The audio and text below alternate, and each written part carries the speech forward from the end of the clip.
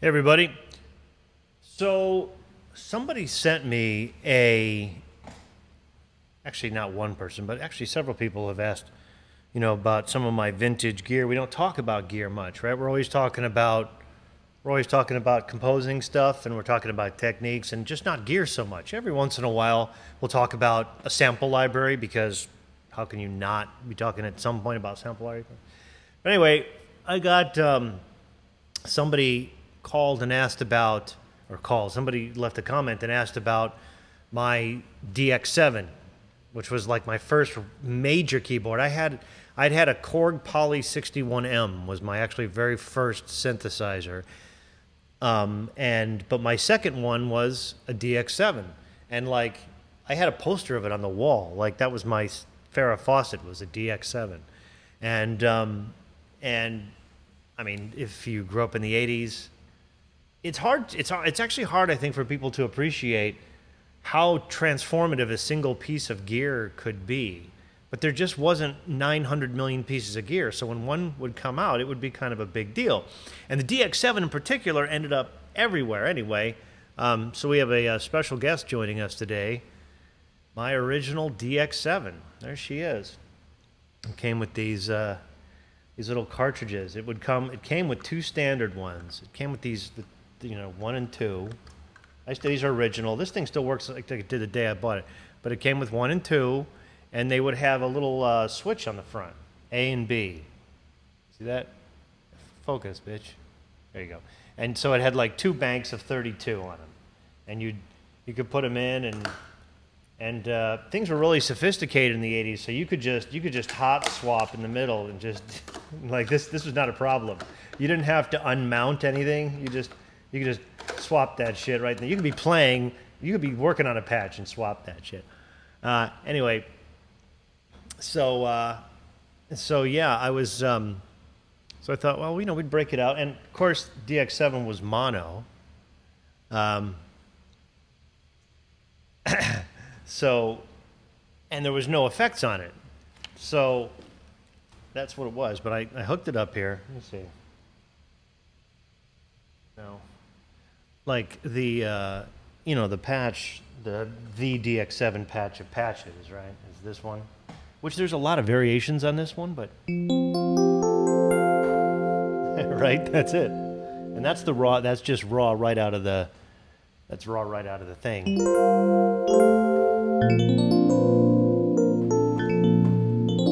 Forgot how loose this keyboard is. It's so loose.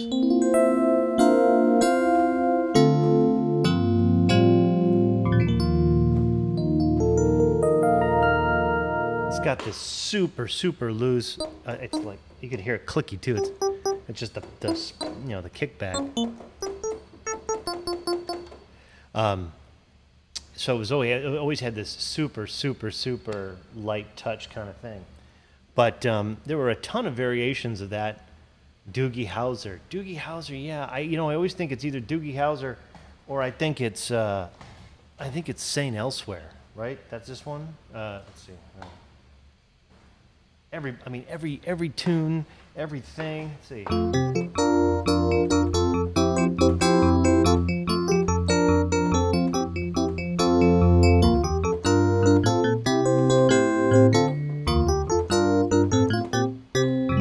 Right? It's classic like that that and that that patch, I mean, God, the number of tunes. I mean, um, well, actually, if we just why don't we just uh, like and there was like i said there's a lot of variations of it. I think i probably have three on just right here. I mean there's probably a yeah just a slightly less bright one. But this one. Um, but yeah man i mean the tunes. Jeez i mean let's see. Well here's one. You know right away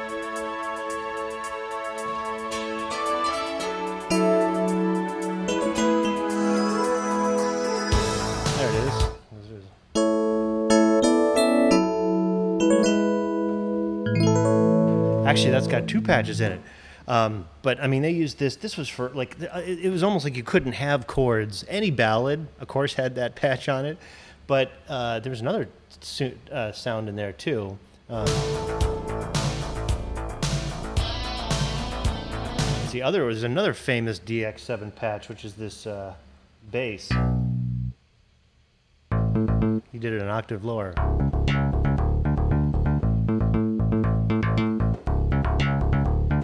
I mean, you've heard that bass. You've heard that bass so many times. Oh my God! Like, geez, like, uh, boy. Let me just scroll through my little playlist here. I bet I can find. Where, I mean, the first one that comes to mind is uh, well, Weird Science. Sure, there's that one. Remember this? There it is. Listen.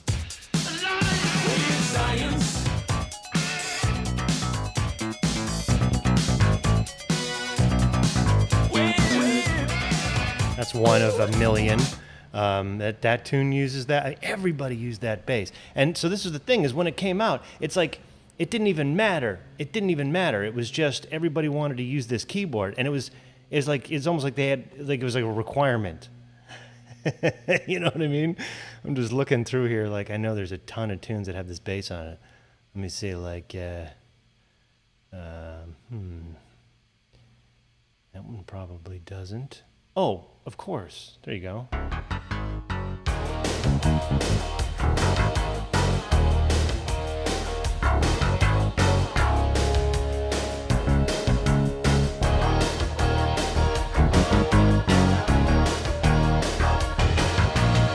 There it is. That's another one. That's got it in there, of course. That's a huge use of that one. Uh, see who else has got that tune. What else? What else has? I mean, that patch. That Top Gun itself. Where's the? Uh, here, here, Top Gun. right there you go that's all you need for top gun starts that Uh, it's like there's just you were not allowed to do a tune unless this keyboard was on it somewhere um, what's that tune uh, what's that tune i can't remember who it's by um, oh yeah this one here check this out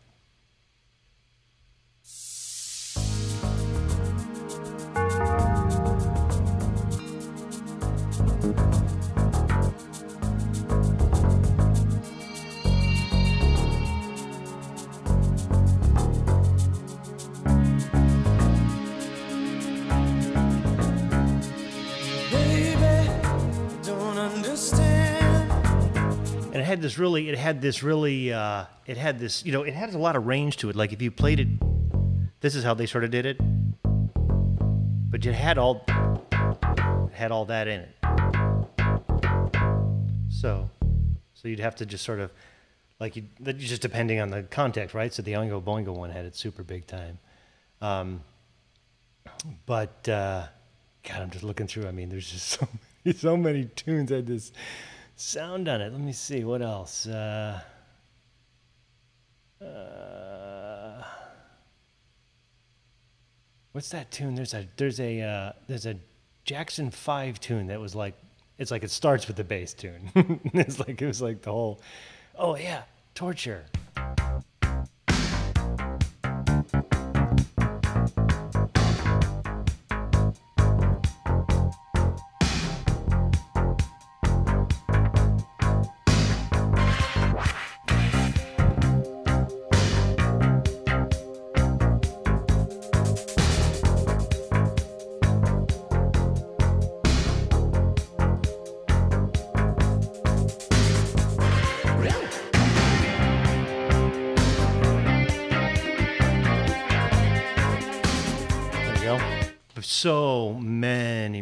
To every does uh, does everybody wants to rule the world use that one? Yeah, man. Um, that sound, that bass, which was just called S Bass One, and people brightened it up and darkened it up a little bit. That was like as much as anybody ever did with that uh, with that tune. Um, yeah, anything by Peter Cetera, Chicago, like oh yeah. I mean, talk about talk. That's all this stuff. I mean, that's all. That's all this all day. But you know, they were always chorused, and stuff was done. Oh, Axel F. Okay, Axel F. has uh, two has two patches. Um, see if I can find him. Uh, two two patches in. Uh, let's see here. My internals. Do I not really have it? I would think I would have it. There it is.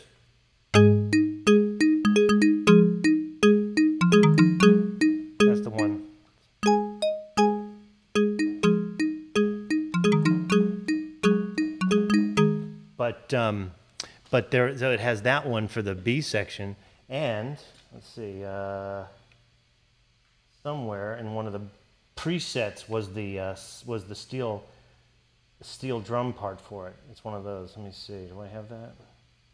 This is how you go through. You just slide your finger. Everybody did this. You just slide your finger along looking for the. These are all those membrane switches, right? Uh, somewhere there's this. It's called steel drum. I remember this. I just also saw another one. Let's see here. Let's see. So you just switch the banks there. Uh, come on, where is that?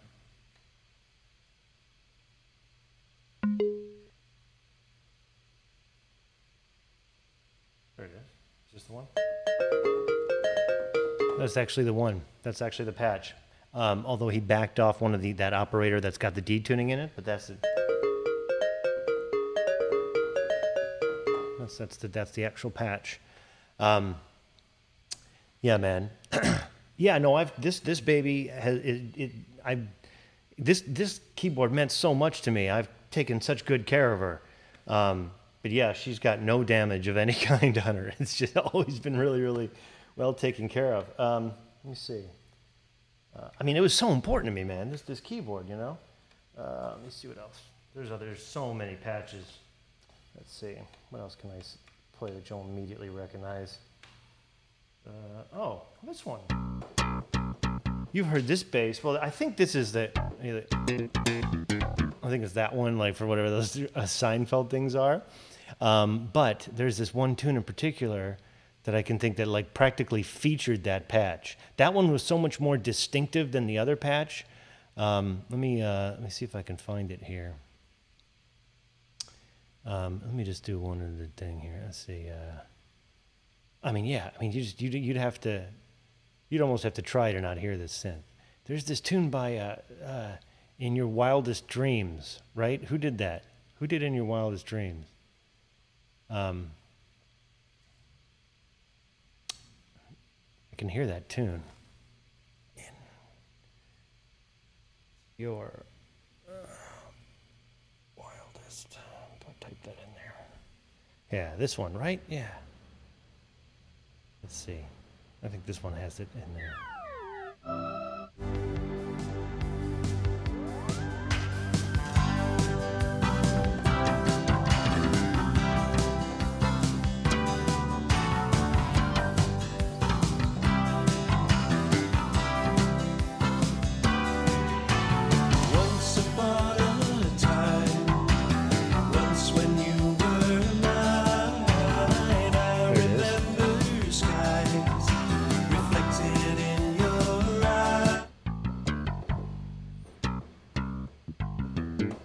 Boy, you cannot even. You got to hit these things dead on. You can't clam. I remember that now. Um, yeah, like that tune, right? That one. Um, and I'm just remembering a uh, two patches on a Tina Turner tune. Um, What's love got to do with it? Remember that one? What's love got to do with it? So check this out. Hear that little little uh, thing?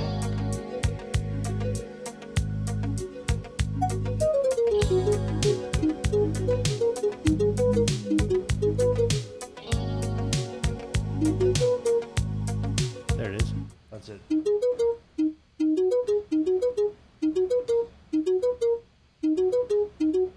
That's that patch. Slightly with the top rolled off just a little bit. You must understand the touch of your Also, makes my. If you listen, that Rhodes patch, a really dull version of that Rhodes patch, is holding is the comping in this tune, in the chords. Boy, needing girl opposite. Got to do, got to do with it. Let's see here. Only logical. You must try to ignore There it is that patch.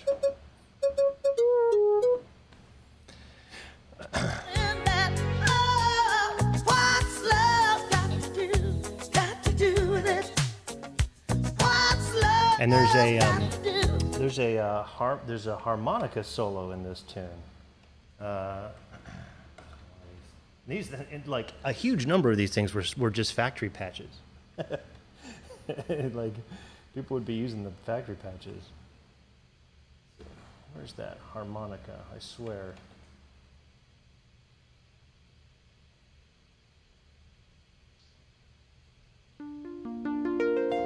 That's so FM. Oh my God, that's all FM all day long. So we can find that. uh, Like anything else, right? It had this. Like by the time you got to by the time you got to the end of the second thing, it was all this stuff. right, all these patches that you'd never use. it was always that. I think the entire second disc. Yeah, okay. All right. Yeah, laser. Oh, that's in Ghostbusters. There's some of that.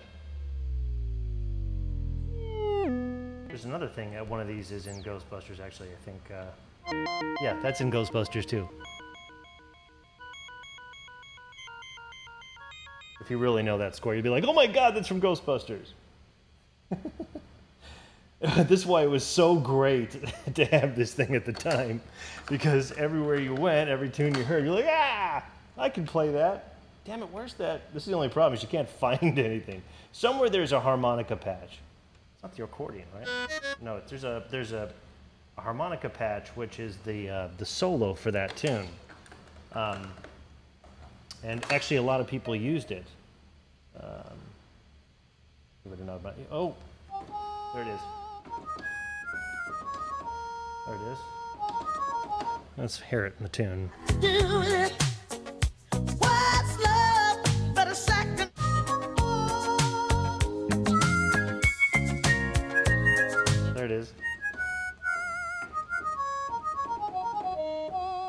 That tune. There's that patch. This is such a this is such a walk down memory lane, man.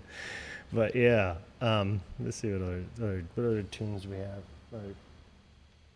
Um, but I mean, if that's all you had were the were those four patches that get, got you through, that pretty much eh, Simmons. Nah, that didn't sound like Simmons. Here's another version of that Rhodes. It's like a softer one.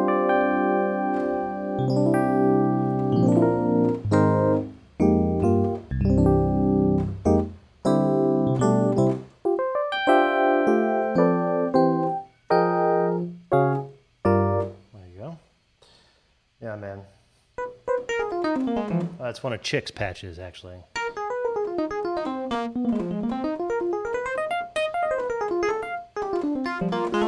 Um, which, I bet there's another one too here somewhere. Oh, I know. Um, I used to have like, I used to have a bunch of, uh, like, um, you know, it's like uh the hits. Like I had a disc of the hits. Oh, that's one of the layers. That patch is one of the layers in um, Africa, whatever key that's in.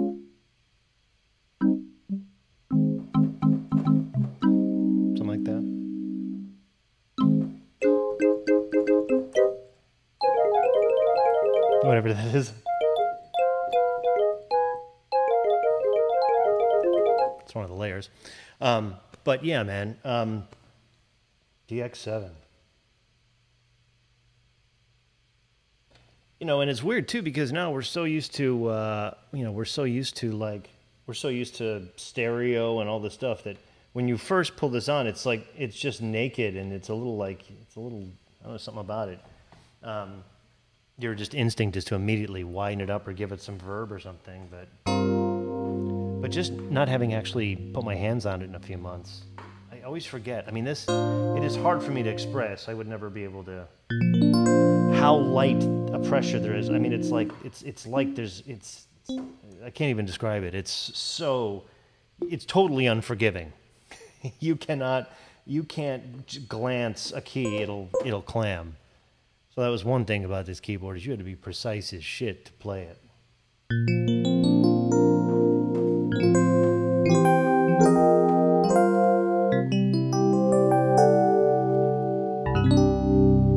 You know, I, I have uh, I have FM8 or whatever, and I've heard a bunch of I've heard a bunch of you know versions of this patch that have been done. Man, none of them have this thing that this has. This has a particular kind of just there's some something in it, man. Um, yeah, it's it's uh, you know it's not like you know I, I mean I've played over Oberheims and I had Jupiters and I had a bunch of stuff and and um, I always feel like those simulations are closer closer somehow than this one. I've never heard I've never heard the DX7 really really captured like that. Um, but didn't you have some restoration work done on the DX7? No, that was another one. That was a JV1000. I mean, the only thing I had done on the DX7 was it came from Japan. Mine came from Japan, and so it had a European plug on it. Um, but uh, it had, so it had an American plug put on it. But that was the only thing. Um, and in fact, all it was was just the plug. So for many years, it had this funky looking white plug on it. But then one time when I took it in to get the battery replaced, I had them put a proper cord on it. But um, but yeah, man, it's uh, it's a thing. It's a thing, is what it is. Um, it's the quintessential 80s, and like I said, we just scratched the surface in terms of those tunes, and it's usually hiding in the back somewhere. Like, e- like even if you think, oh, they didn't, they didn't use DX, because of course that would happen, where somebody would be like, well, I'm not gonna use it, everybody uses that, and they still use it. It would just be somewhere in there. Um, one like, like one thing I, I can't remember. I have one other cartridge somewhere. I can't find it. Has a lot of the Steve Winwood patches on it, like all those synths, like all those. The, the so, you know, um, but yeah, man, this will get you through. This will get you through.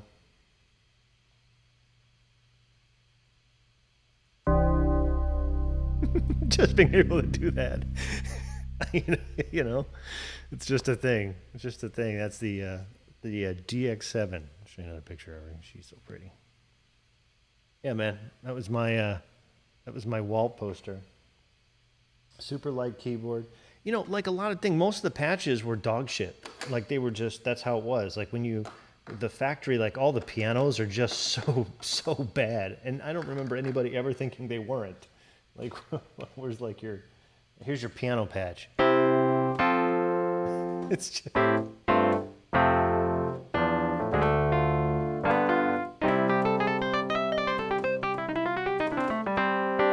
I don't, I don't know how that's a piano, but that was the piano patch.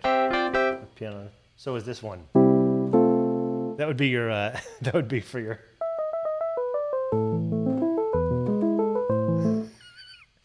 right. I mean that's and then this so you so you just bought your DX7 right and then you come and you go do and now here's your electric piano.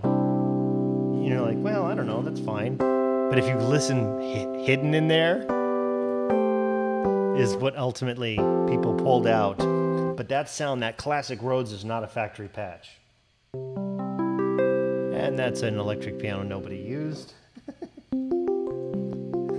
this, is, this is what you got when you bought it. oh, a piano and fifths. This is useful. Okay. And then your celeste, which you need. Anybody's going to need a celeste.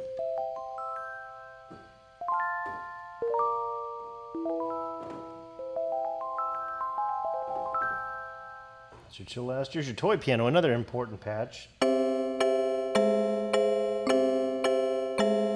Oh, that's been used in films. Oh, that's some horror movie.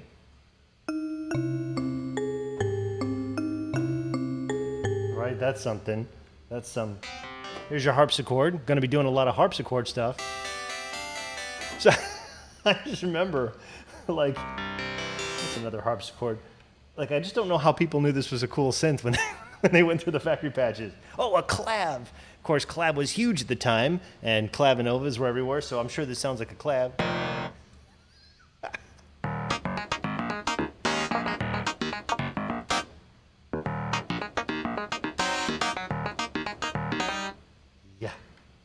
Not a popular patch.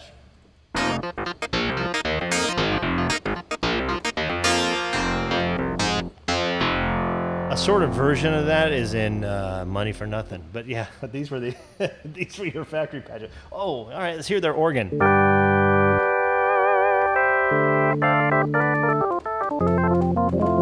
It's like they invented FM synth, but they didn't really know what to do with it. uh huh. And so here's the actual factory bass. But people brightened it up. But in this mode is kind of your. Um, more organs. Oh, oh, I'm pretty sure this is.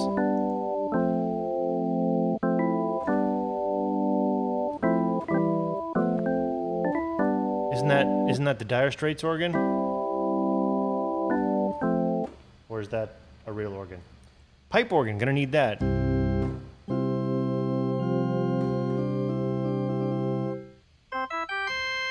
It's like, it's, I- oh, I've heard this in something. The calliope, the factory calliope. I can't think where, but that's it. That's in something. That's your accordion there. Sitar. How are you going to get through the 80s without a sitar?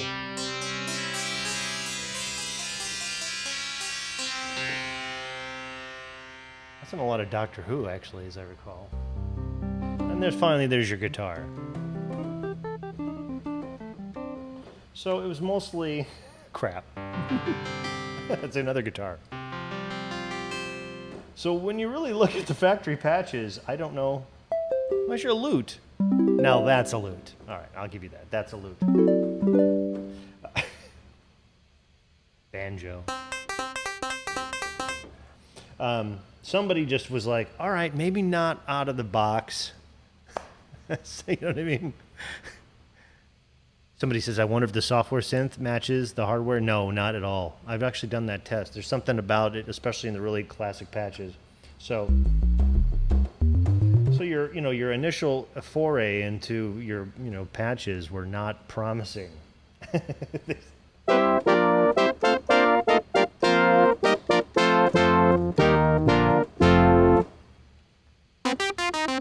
Another great brass patch. Although, a similar kind of thing like that did show up in a lot. Oh. Kind of profity, but not. Well, some strings patches.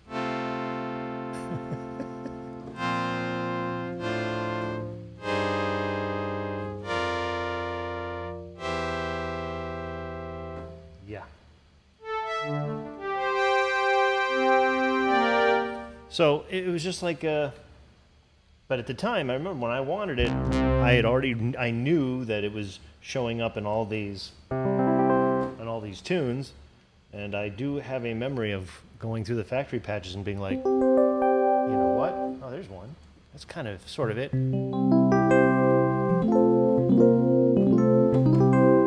Have I checked out? Uh, yes, that what are the DXCD or whatever DX Dexed. Um, I have. I mean, it's pretty close, but it's certainly here directly. There's there is a, it's it's I can hear the difference between this more than anything else that I've used via VST wise. simulation one. That's a synth lead.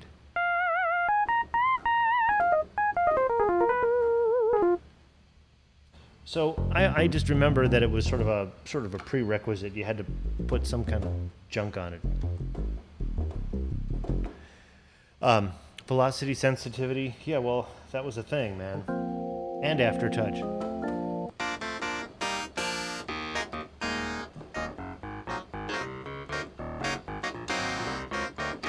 No, that's not a clav. Here's your vibraphone. No. so that was the original marimba. That's the factory marimba. Which got super brightened up, and then a lot of people used it. Oh, that's something. The Koto. What tune is that from? That's from. I can hear that in something. But yeah. I think this original flute is for something too. But later, this this hybrid is the one that got. That's the one that Tina used. Um, but yeah. So you just sort of had, oh, the ref's whistle. I'm sure this was a popular patch. Sure, everybody had had need for that one. And a timpani. Eat your heart out, Spitfire. But that is the patch that was in Axel F with a little bit of modification. Orchestral chime.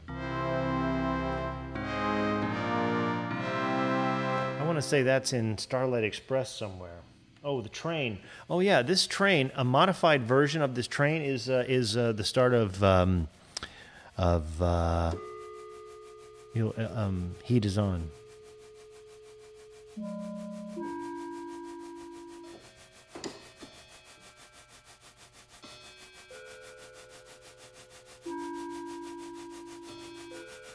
It's like some sort of right? That's something they, they like tweaked that patch a little bit, but that was at the start of the heat is on.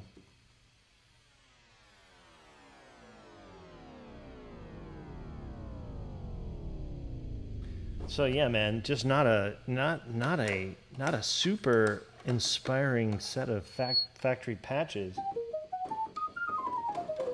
on the uh, original DX7. Could they do a clarinet?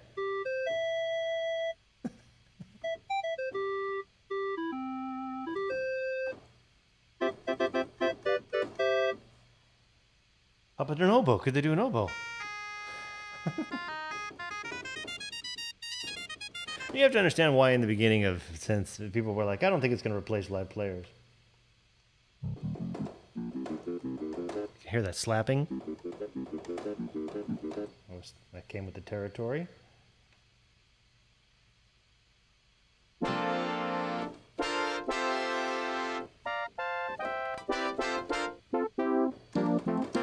Yeah, this kind of brass patch was used a bit uh, for a layer of nothing else. There's that harmonica.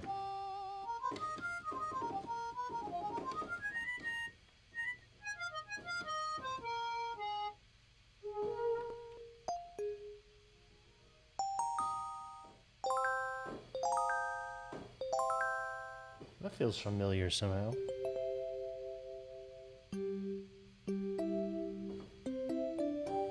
I want to say that's um, Star Tours, right? Isn't that Star Tours? I think that may be Star Tours. And then, it, then as you whoa, and then as you roll, nice, as you round toward the end of the more useful patches. You guys get that feedback, or was it just me? Yeah. That kind of patch, this sort of became eventually a Steve Winwood kind of thing. It was based on that thing. Not so much on that one.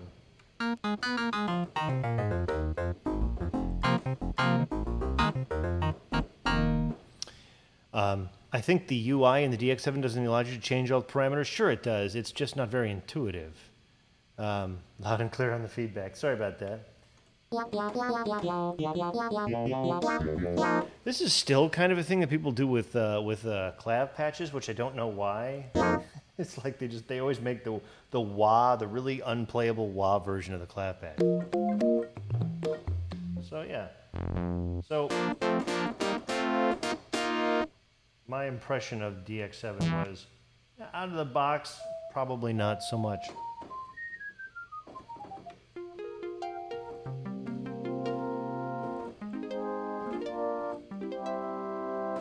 But uh, then again, it really was like a handful of patches that just kept, just kept getting used.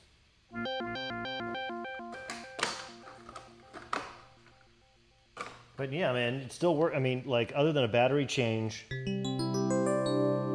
this is nothing's different, and the, you know, the keys have never failed or anything. Um, yeah, man.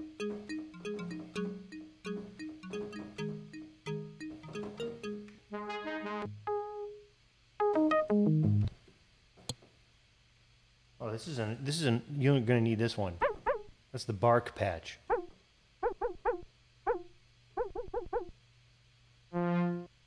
Also, another really super useful patch.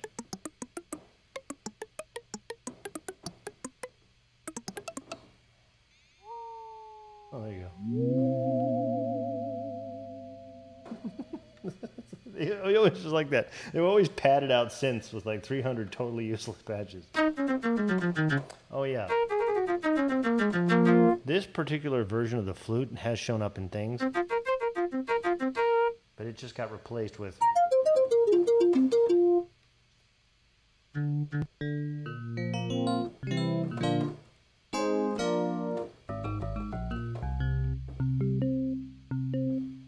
The super like overtony bass thing was always such a giveaway.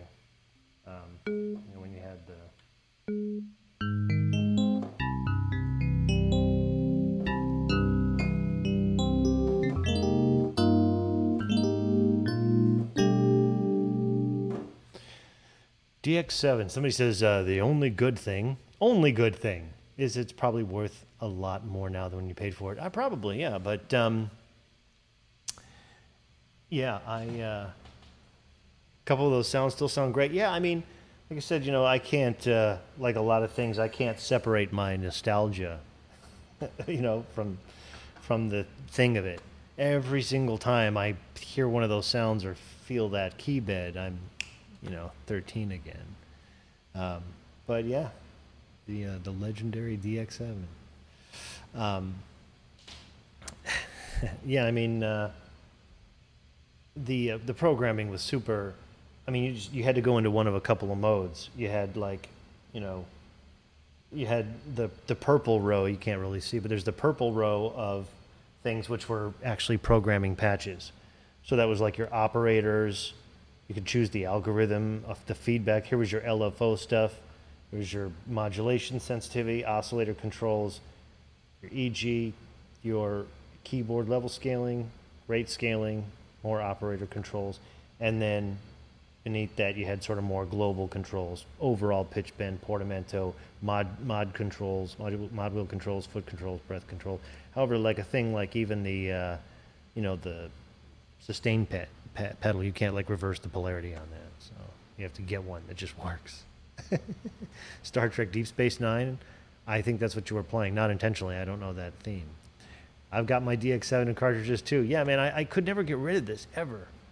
Um, but uh, super unintuitive to program.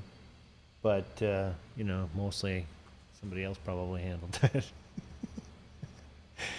um, I never found it fun. Like you know, the straightforward knobs on an Oberheim or a Juno were way more fun. Especially because you because that menu you know you had to dig around like you had to go and do stuff. You couldn't just grab a bunch of knobs and it couldn't happen quickly. So that was always really really painful. But there she is my dx7 and uh, don't you wish you had one? You know it's a, it's a weird thing too because um, you know i know that there's you know sort of a there's been or was i don't know if it's over now sort of a resurgence in in vintage hardware but uh, but if that was the case, if it was like a programming thing, I would just think FM would bum you out. Um, somebody says, "Sweet, I can make a few patches in FM8, but I think the operator routing is fixed." I don't remember. I mean, I've only done a couple of patches in FM8, but I remember just my feeling about FM8 was like, "Oh my God, at least I can see something. at least I have any idea." I had a synth teacher actually. I had a synth teacher. He had a class, and and we would get to you know play together as an ensemble, and everybody had different keyboards, so it would be an opportunity to try other people's keyboards. And uh, I remember it was like we were gonna do programming or something, it was like, yeah, no. Um, yeah, but uh, yeah, there she is. Yeah, that was just a little request. DX7. Um, you know, I used, I mean, I had tons of stuff. Like I said, I had my Korg. I've had a bunch of Korgs over the years. I had an O1W and I had, uh, what, an M3 or M1 or something, Korg M1, sound right? And I had, I, I was damn near a product specialist for Roland. I had a JV80, a JV1000, I had the 990, I had the S760 samplers, or whatever, sample playbacks, I think they were.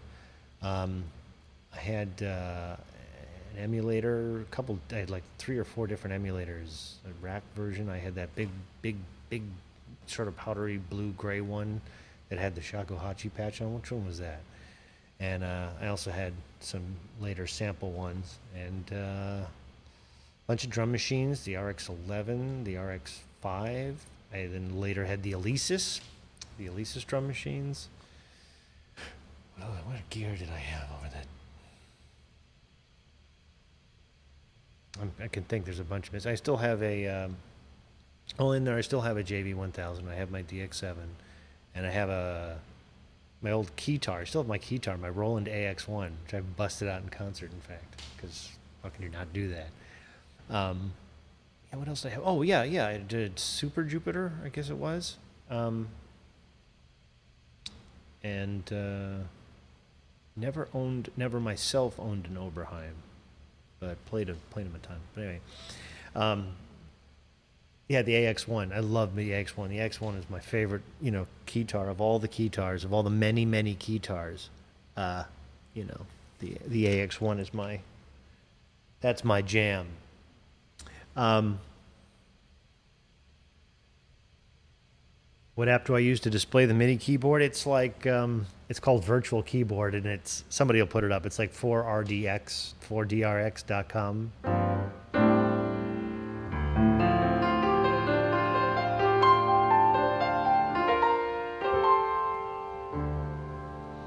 Virtual keyboard for for Doctor X. I'm gonna try to remember that.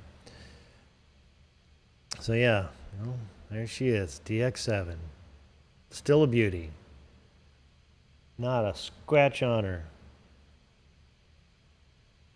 Anyway, so thanks for making that recommendation. I uh, it was fun. I was gonna be like, I was like, I don't, I'm not gonna, I'm not gonna break out the DX7. You know why? Because it's in the other room. It's in the other room, you lazy son of a. All right. I broke it out. But then as I was setting it up, I was like, oh, yeah, this is fun. That's probably the extent of the gear that we'll do on my channel. It just going through a handful of patches on DX7. But um, for me, just so long as I have that legit Rhodes patch to pull, I'm going to use it somehow. I have to just on principle. And it's got MIDI, so you can just record on it and play it. One thing though, you have to, I, I can just feel it. It would take me like a week of playing with it to get the key bed back under my fingers because it's so unforgiving. You cannot slop at all. You got to be right on it. And it's a really short throw. It's, like no effort, no effort, short throw. So you got to, you got to get it, which also means all your like rhythm stuff will probably be ahead. Whatever. These are truly first world problems. Um,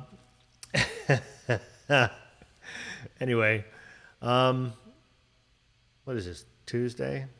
Dinner time Tuesday? Any, if there's nothing else, we should just get back to our lives, assuming you guys are doing things. Um, otherwise, uh, let me know if you have any questions. Now's the time. I, I really don't intend on doing these things every day. I, I was doing all this kind of stuff today, and then uh, I was saw this I saw this comment, and I'm like, yeah, we'll break out the DX7. Now that we can see your hands, which finger do you use for close triad inversions? For uh, well, here, let me bring that up so you can see what I do.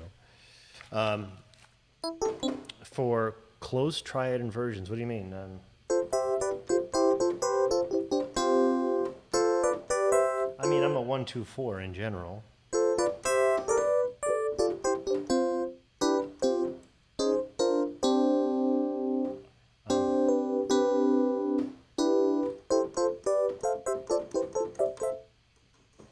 What, what do you mean? Oh yeah, I mean, like I said to you the other day, I always like to have something. So even if, you know, like, uh, and I noticed Draco did this when he was learning jump. He did this naturally. Um, that's the transfer. So he, you know, he went one three five, one three five, which makes sense because it's stepwise. But then he just naturally switched to one two four.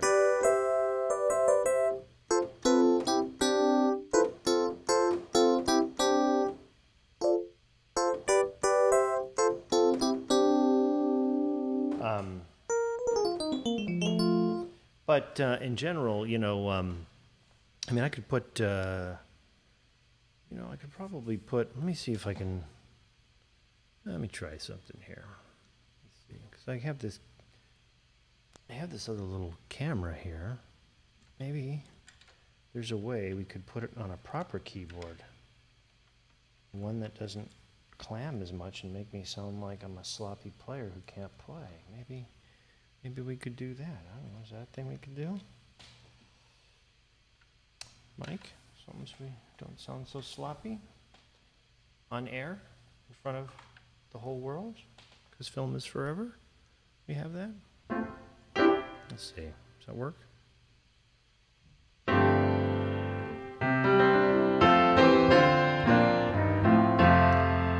Um, you know, um, my hands when I play, um, they like to be together. They they like to share duties. Um,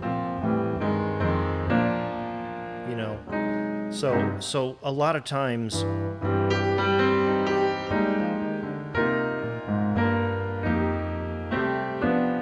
Well, they'll, you know, they'll they'll play together on a chord, and then one will just and do its own thing. But it, the the when I was younger, it was always like bass and chords, and and they just never crossed. And then at some point, they, whenever possible, they were coming together and working together.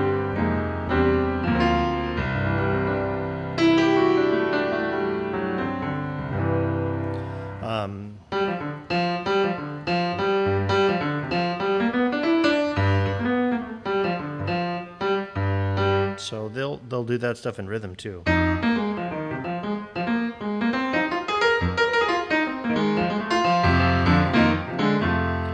Um, uh, if not now, can Uncle Bourbon do something on making more colorful chords for people who get stuck in triads?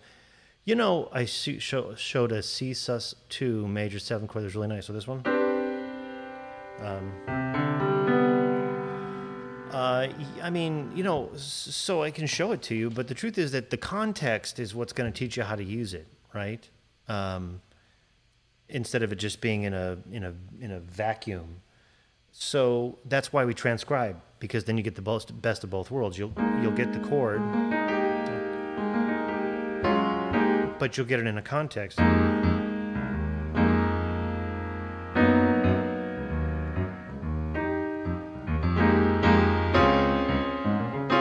So inside of a context, you know, teaches you a lot more about what to do with that chord than than merely just, you know, I mean, I can tell you the names of different kind of chords, but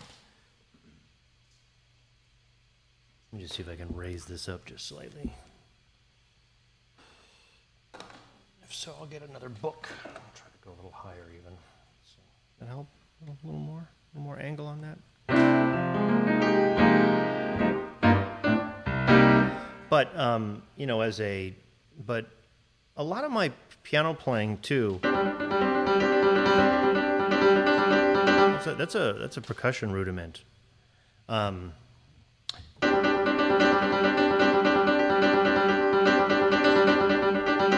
do a lot of that kind of stuff, which I distribute for clav stuff.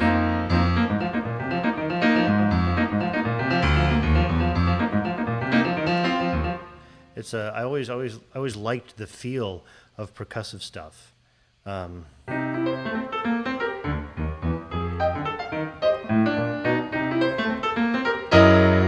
know what you could do? See it though. Down here, down here, lower, lower, look, look,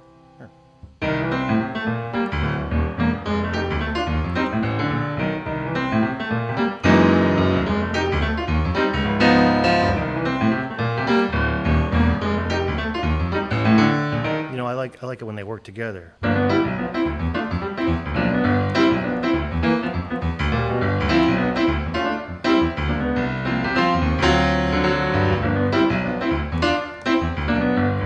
just like I like the feel of it. It feels like almost playing congas or something.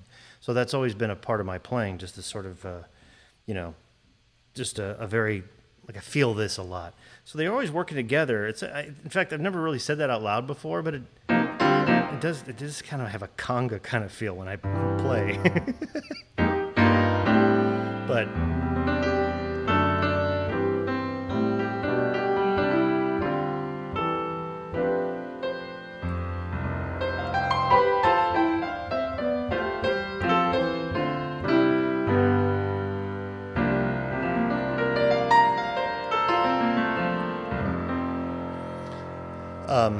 and you know, it really depends too, because um like you'll sort of see there's like two states that my hands are in a lot.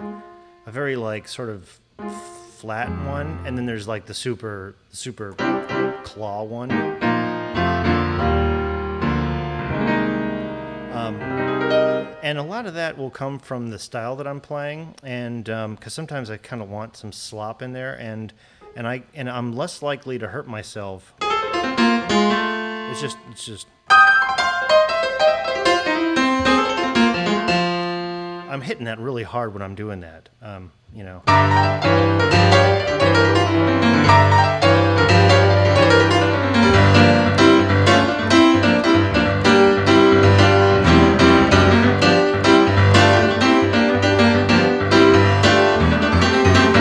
So if I'm really playing something hard, then you know you'll see it's it's not it's it's got that see it you can kind of see it's kind of floppy. I'm watching my own delayed feed. You already saw it, um, but it's it's it's got a lot of that.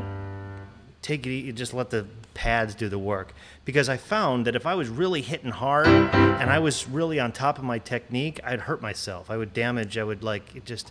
And it happened when I was playing that that A80 or A88 or whatever that keyboard was it actually changed my playing because I would I would be banging on stuff because that's just kind of player I was, and um, and it just just these these these concrete wall just at the bottom um, just started to cause problems. So I noticed that I started to flatten out a little bit. I don't know if you can see that when I'm playing, but I, I can feel it. I can tell when I'm in that mode, and it's it's not as technically accurate, but um, but yeah, man, it's uh, it's uh, safer for me. And my fastest days are well, well behind me, but um, but um, you know that's one thing. If it's if it's something that requires speed, I'll see myself naturally. I'll just see myself.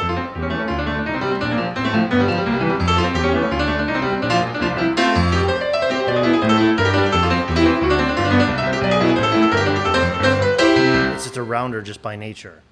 It, they just they, it won't it won't be the same thing, and that's just you know. But but I have really short fingers too. You can see that they're not short, but they're not piano player. Those are not those are not piano player hands. Despite the fact that I'm like big fat fuck right now, those are not. Those are that's got a. These these are not the fingers of a piano player. Um, you can just see it. That's a that's a rock player. If you're gonna rock and roll, that's all you can do with those hands. So I was never gonna be a concert pianist. You've seen piano players. They got fucking those. They look like the fucking crypt keeper. I don't have those hands. I have like Billy Joel hands, which so it works for.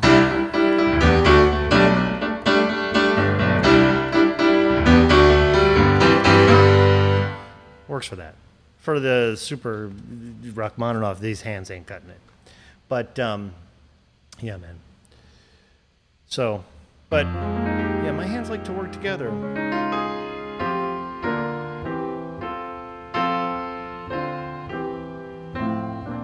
That ragtime piece that was, uh, you know, root beer rag, best Billy Joel.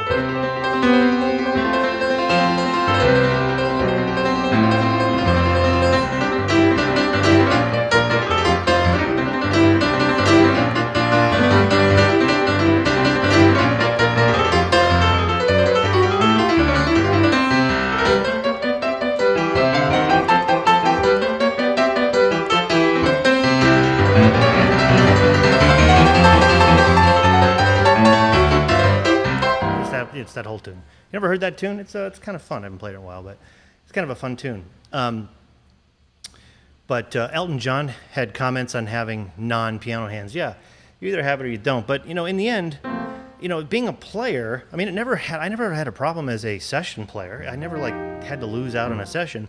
But I also wasn't playing orchestral stuff. It was all groove stuff, and it was not hard. Um, but uh, you know, having met players later like Bryan Pezzone or uh, Ralph Grierson, I mean, or Mike Lang, like I was like, okay, those are piano players, you know. But um, yeah, man, it's uh, uh, you know, certainly from a composing standpoint, you don't, you know, if you're gonna do rag, then give us Gladiolus Rag by the Master. Yeah, yeah, yeah maybe some other time. Um, uh, You know, uh, Root Beer Rag is actually a piece that almost all piano. I don't know if it's all piano players, but most people that I know uh, learn it. And the sheet music is wrong. it's totally wrong, and it drives me crazy. And so I play it the way Billy plays it. But it's one of those interesting things because it's it's uh, you know it's it's uh, I when I teach it to people or when when I'm giving people pointers, I'm always saying learn it really slow and um, and really swing it like.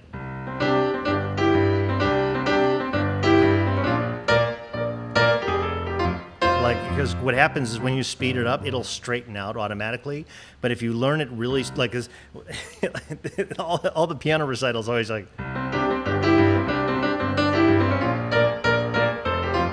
So it, they just it kills me. So, but you want it to have a lope in it, and so if you learn it with that lope in it, well, exaggerated, you know.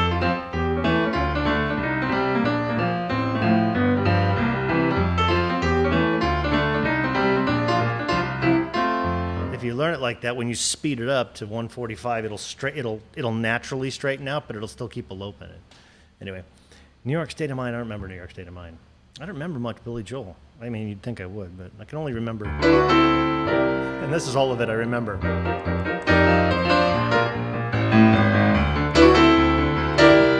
I only remember Allentown because we were playing it, and I sort of half remember uh, uh, Pressure because we played it couple years ago. Got comp one the other night. Tried to do my first transcription today. I got a long way to go. Hey man, that's how it is, though. You know, um, that's that's part. You'll get better and better and better. Trust me, you'll get better. Um, and like I said, a lot of that too is because part of the reason you'll get better is just because things, you know, patterns repeat, and you know you'll you'll just recognize, oh, I know what chord that is. You know, it's just it's just how it is. Especially if you do easy stuff.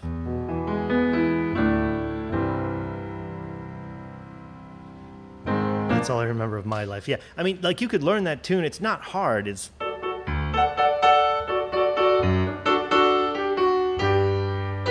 right?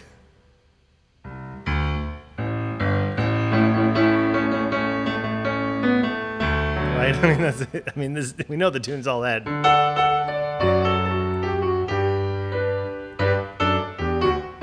Something like that.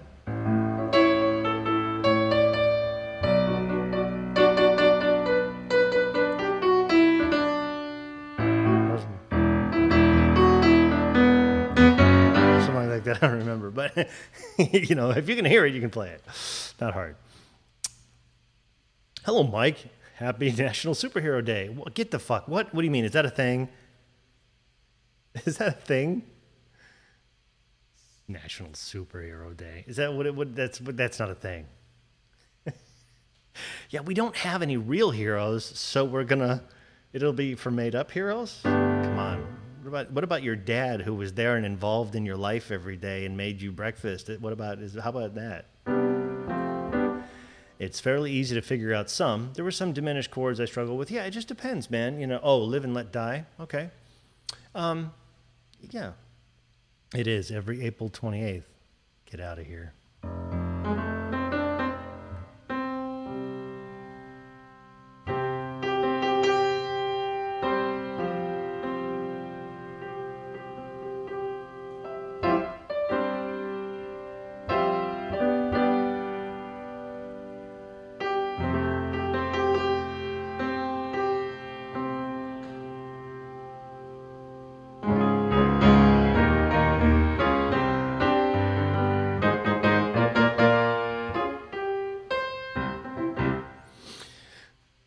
With your own wife. Leave me alone.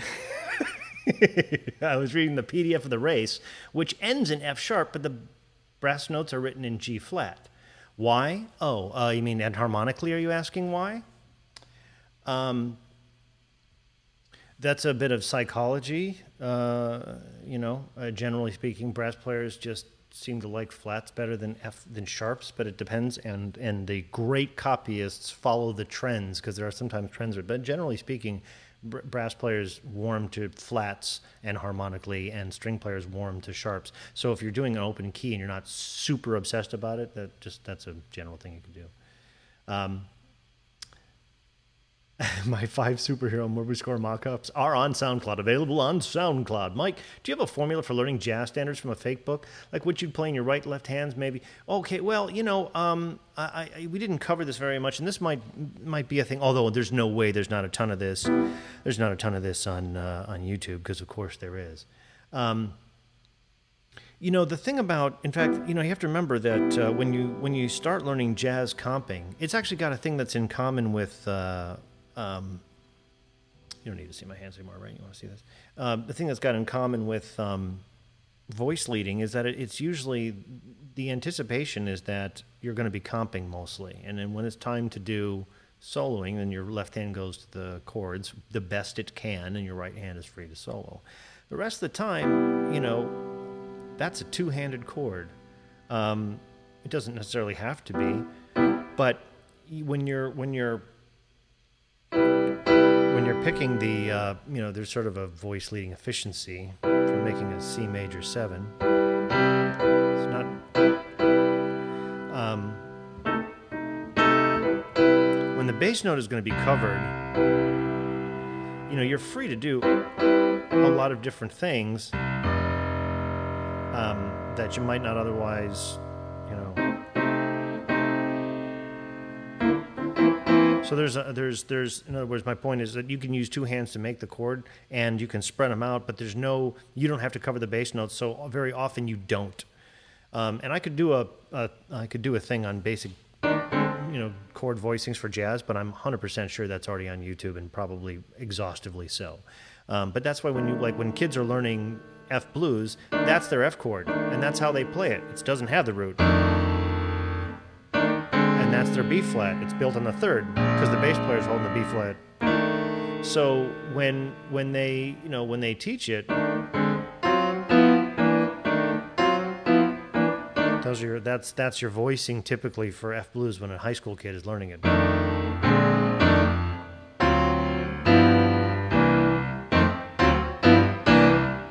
So it's built for efficiency and not for representing the chord because somebody else is going to handle the somebody else is going to handle the bass. And um, so you know th- th- that's just a thing that's built into all jazz piano voicings is that you're probably comping um, and you're not covering the bass. So it makes it a little awkward if you're like, you know, if you're learning jazz and you want to learn to improvise. Like I used to sequence, um, I used to sequence a, a walking bass because it was just too weird for me to like just, I just.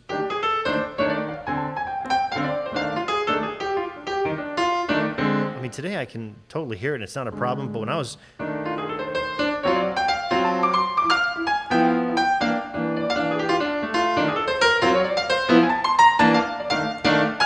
it really freaked me out when I was a kid. I had to have the like. And so I would I would have sort of do that, just something. Um, but uh, you know, but that was just a thing that my ear wasn't ready for at the time.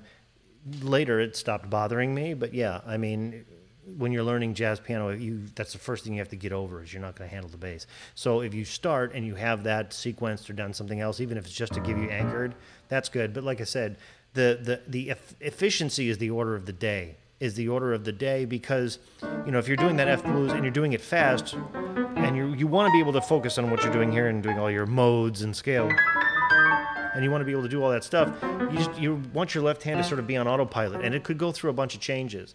So when we would do standards, you know, like if you get the real book and you, it's just got the head, it's just got the melody on it and the chords, you're learning the chords with the anticipation that somebody else is handling the bass, and then in the most efficient ma- manner possible. Um, you know, like what are the three most important? Like it's, it's with that F. You, you know, I mean, we don't even have the five in it. There's no five in it. That's fine. You don't need it. You could put it in there, but you don't need it, and it's one that's more efficient. So you're you're always assuming when you're playing jazz standards that you're with a trio or a combo or something. You're going to end up soloing, and then you're going to need your hand efficient anyway. Which is why so often when you're not doing it, uh, the, the, right hand is kind of just doing token stuff. That's what it tends to be because it's like, well, I'm not really, I'm not super committed here. I, I'm going to be doing something in a minute anyway. Mike, do you ever use the sostenuto pedal and, and capture a dry upper range? Um, I mean, sometimes. You know, I mean, pedal wise, uh, you know, th- uh, one thing I will say is that, you know, and I have not figured out because I haven't thought about it. It just hasn't come up yet because Draco's almost not tall enough for it to matter. But I do know that sustained pedal technique is like you cannot separate it from at least my playing. It, it it's it's I it's just it's it's in it's uh, so important. And sustained pedal is just like driving stick. There's a there's a, a timing and a rhythm and a distance in order to create separation but not too much separation. And you know and and i remember uh, like when i when i was first listening to my re- recordings of myself like it would go i'd hear this i'd hear like like a and I just would hear this. I was like, okay, and I just, I just somehow I was coming off of it too hard, just always coming off of it too hard, and so um, I remember practicing that.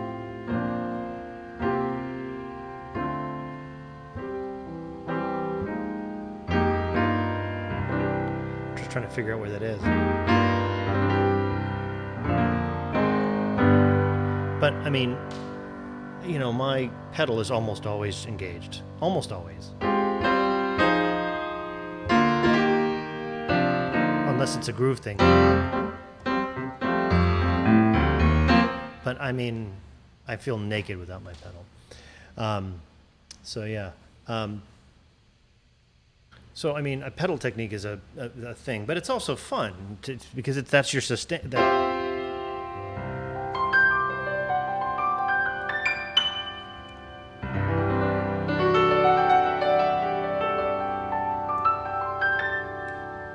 I like that. I always liked that. I always liked the, but you know, it's it's a very different to to hold a chord.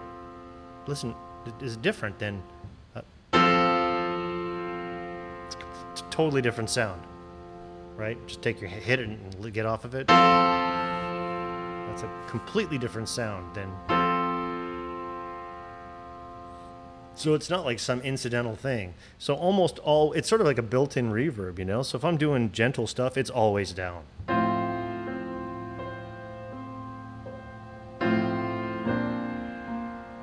It's just, it's just not, you know. A sostenuto pedal, yeah. Um, there it is. Um, but um,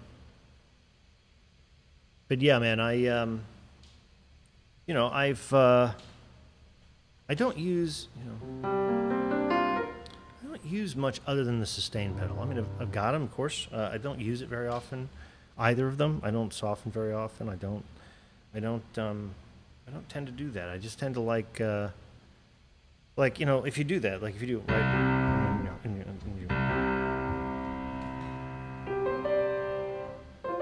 whoops.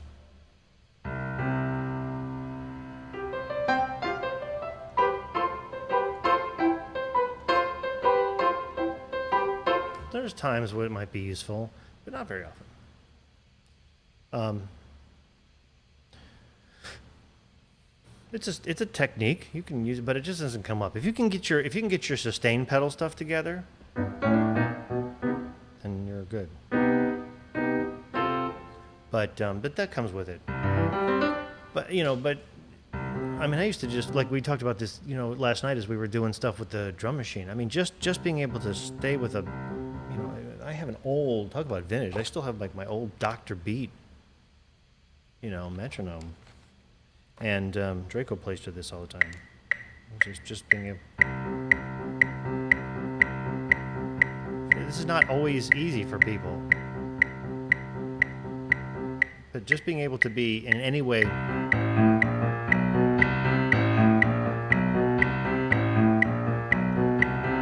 it's, it's that, that even that is not super accurate. You can hear it.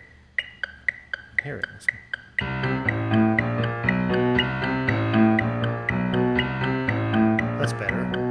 But you know.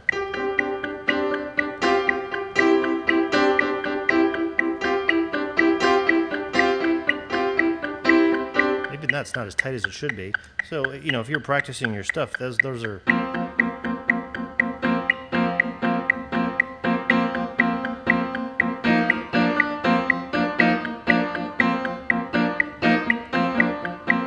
Just any kind of like exercise like that, just to kind of get yourself used to locking into something is good.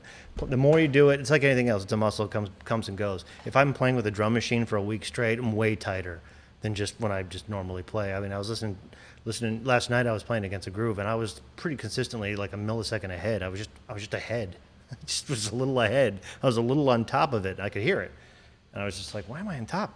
Because when's the last time I was playing with a drum machine like that? And, you know, all right. Sort of made a mental note. Yeah, do my exercises.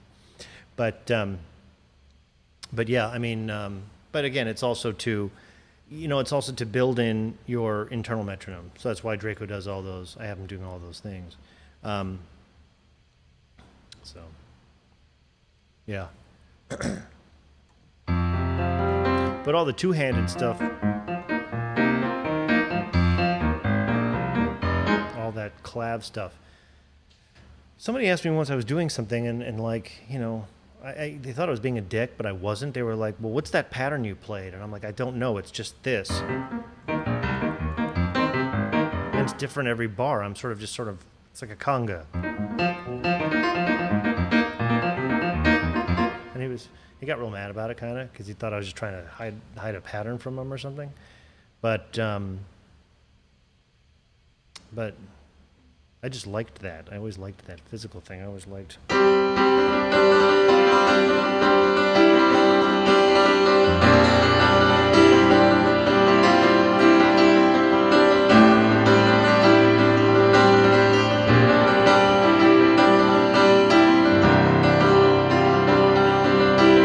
I just liked it. It seemed like something that wasn't. It seemed like it was more impressive than it was when I was a kid. I always liked. I always, like, I always liked stuff that was moving. It sounded more impressive than just. And you know, then it wasn't just. It wasn't just that. It was something else. But anyway.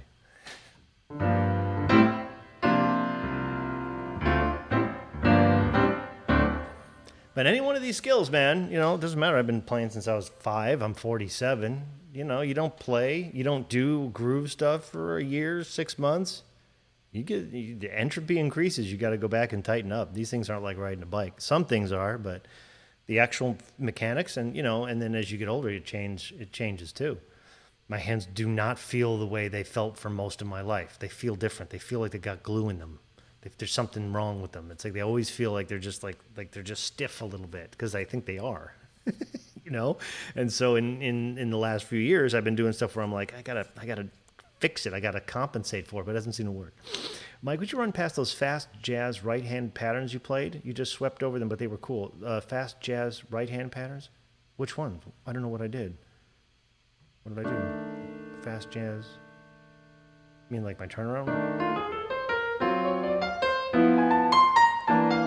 That? You know, I, in the last, uh, over the course of this uh, quarantine, I've, I've I've gone through. I mean, in some of the videos, you know, because you had nothing better to do, you should watch my videos. Um, like the process that I went through when I was learning to, uh, when I was learning to improvise, I talked about that like it was the biggest crime ever is when they taught me the blues scale because then all the kids blues always sounds like this i, I like doing this because this is what the all high school blues improvisations sound like over episodes ago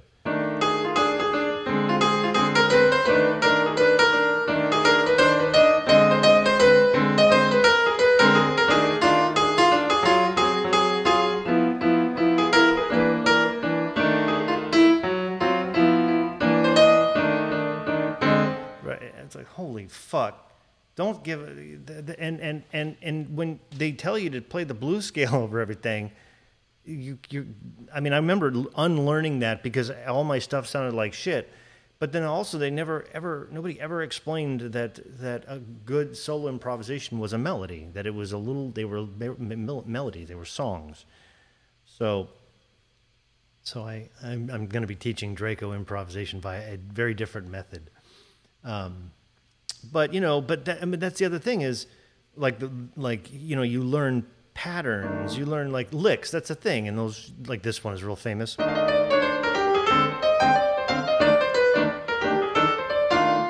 And then you're done. You have no idea what to do. You can always tell somebody's doing licks.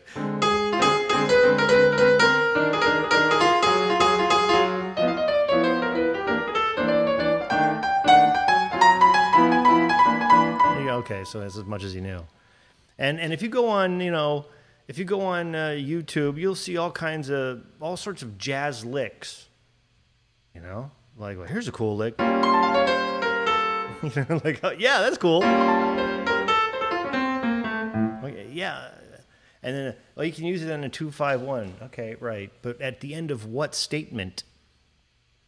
You know, um, eh, you know, like I said, when I was playing in concerts, that's when I learned that this was a crowd pleaser. I remember once I did this. I got this huge, huge reaction because I had been playing a little solo and doing it, and I just went like this for an entire course. I just went.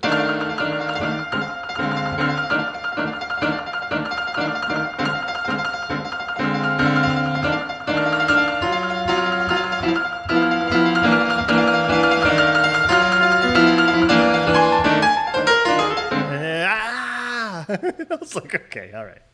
So it's not the notes. what did I think of Dave Grusin? We were playing Dave Grusin.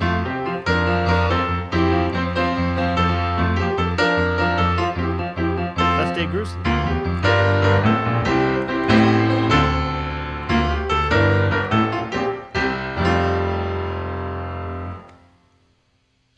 Um,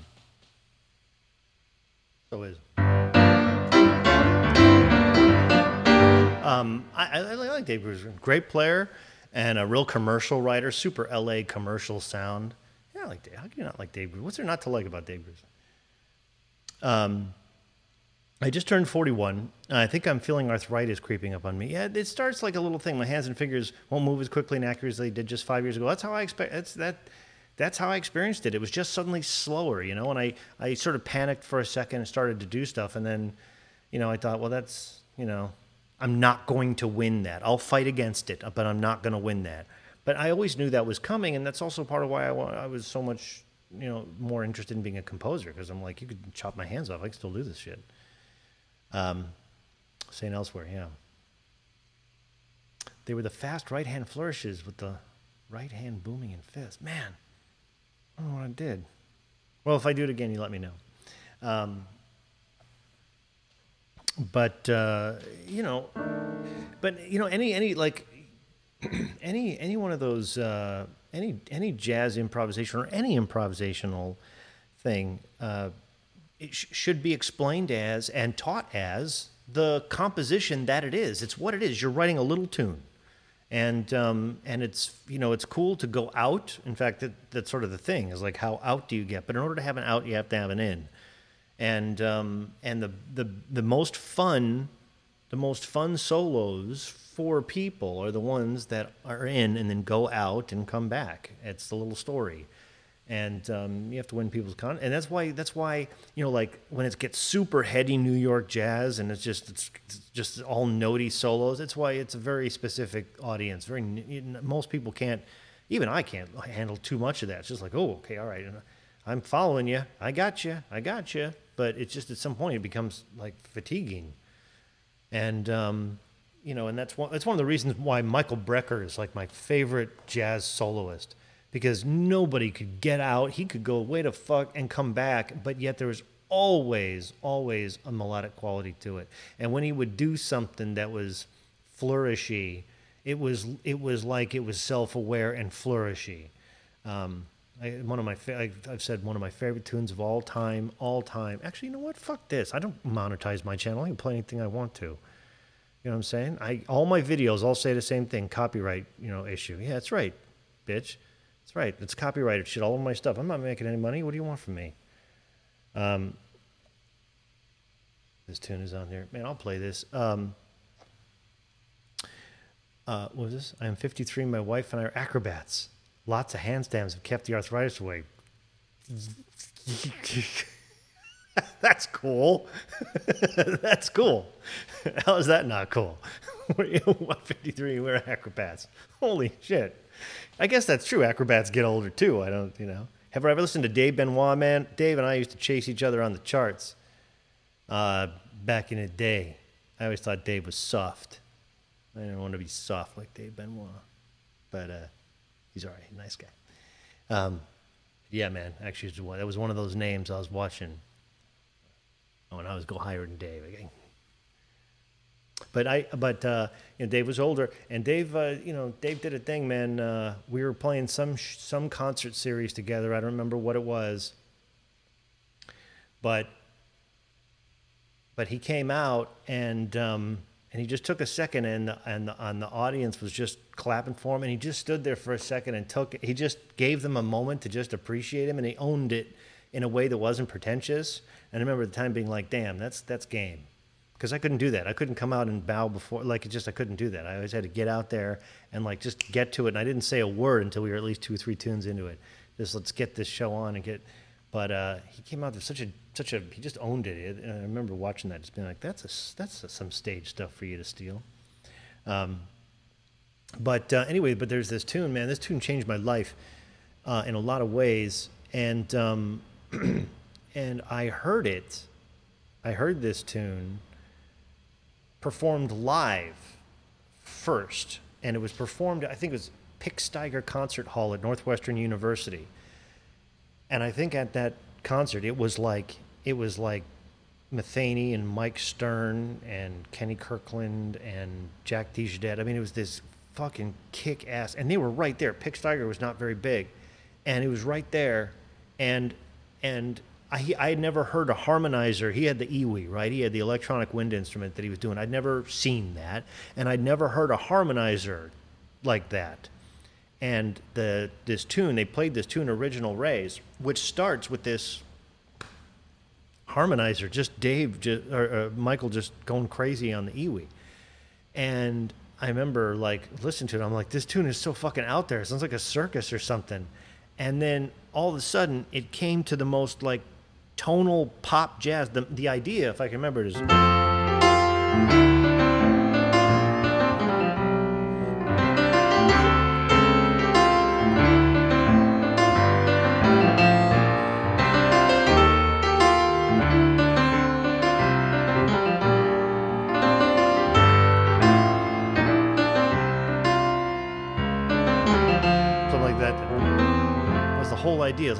Super accessible, super simple tune, and I was hooked by the contrast of it.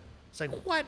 And and the tune, and then that simple tune became the basis for all this sick soloing stuff on top of it, and. Uh, and I've just always like, man, that's the ultimate tune because it's totally accessible.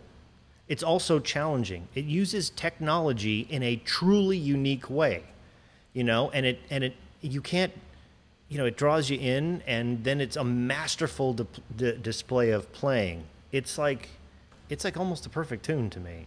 Um, I listen. If you could have worn out a CD by playing it, I would have worn it out listening to this tune, um, which I'll play for you now.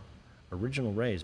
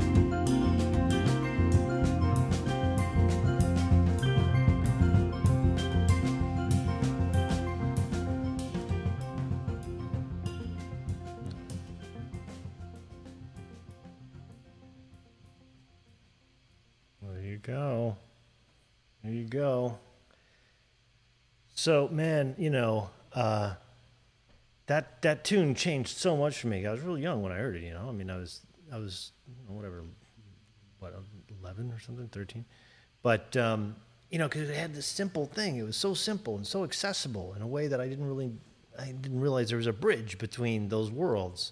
Kind of a pop instrumental jazz thing, but it was so New York. I mean, his tone is so New York, and the solos were so out, and they could get back. And and what Jack DeJohnette is doing on drums defies. I don't know why that. I mean, I don't know how he knew that that would work because it's like it's like there's a groove, but there's no groove. It's like it's incredible. It's an incredible tune, but uh, yeah, I mean, and a lot of that album is like that. You know, there's uh, that track's called Original Rays. It's on an album that's I think called Michael Brecker, and I, Original Rays refers to Original Rays Pizza in New York, um, and. Um, He's got a tune on another one on an album that's also fantastic, and it's on an album called "Don't Try This at Home," uh, which has a couple of great tunes in it. Actually, it has this one of my favorite ones. Goes.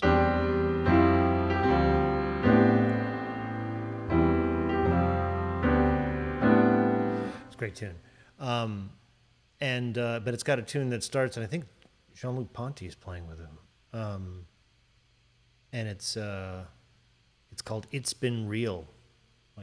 I T S B Y N N E, like it's been real, R E E L, um, and uh, it's like this crazy. It's it's it's equally cool in a different in a different way, um, but yeah, man. So you know that's a mic drop. I mean, how do you top? How do you? How do you top Michael Brecker doing an Original Rays? You don't. I think you just, I think you just let that wash over you. Um, so yeah, man. So anyway, thanks again, everybody, for uh, for making your suggestion on the DX7. When I say everybody, there's like three of you, and uh, you know, we'll uh, tomorrow Drake will be here, so he might he may want to do another piano thing. Actually, he does. He always wants to be on camera. Little ham. I don't know where he gets it. And uh, and then uh, Friday, Uncle Bourbon.